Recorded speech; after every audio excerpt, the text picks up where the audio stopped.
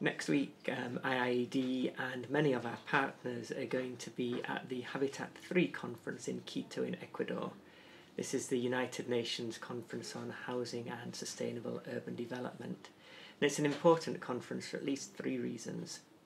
Firstly, it's a very important opportunity to focus the world's attention on cities and urban areas.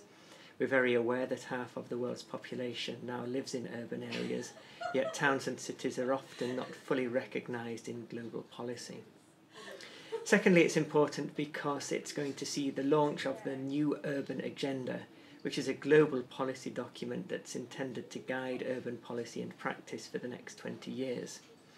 Um, this is, um, fits alongside a lot of other important development agreements over the last year or so, um, the Agreement on Financing for Sustainable Development, the Sustainable Development Goals, and the Paris Declaration on Climate Change. And the New Urban Agenda provides an opportunity really to localise some of these important development goals in towns and cities around the world.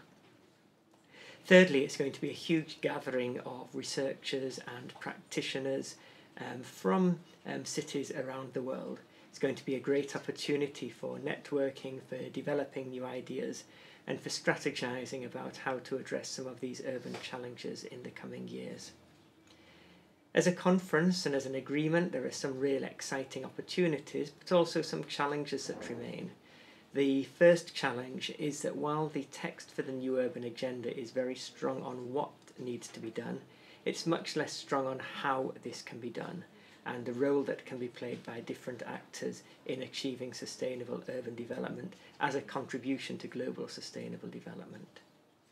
A second challenge is that although many local governments are going to be present at the discussions in Quito, the agreements are actually made by national governments, and we're wanting to see a stronger role for local and municipal authorities um, in these global development challenges. We want to see that recognised through the discussions next week.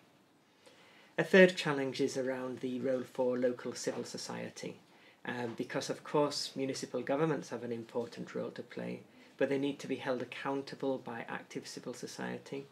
Um, they also need to work in partnership with local civil society groups who have the legitimacy and who have the skills and the knowledge um, to deal with many of the important local development challenges. So if you're watching this and are going to be in Quito at the conference, do come by the IIED stall. Do come to the events, which we have listed all on our website. If you're not going to be there, we'll be providing updates throughout the week and afterwards on our take on how the proceedings are going.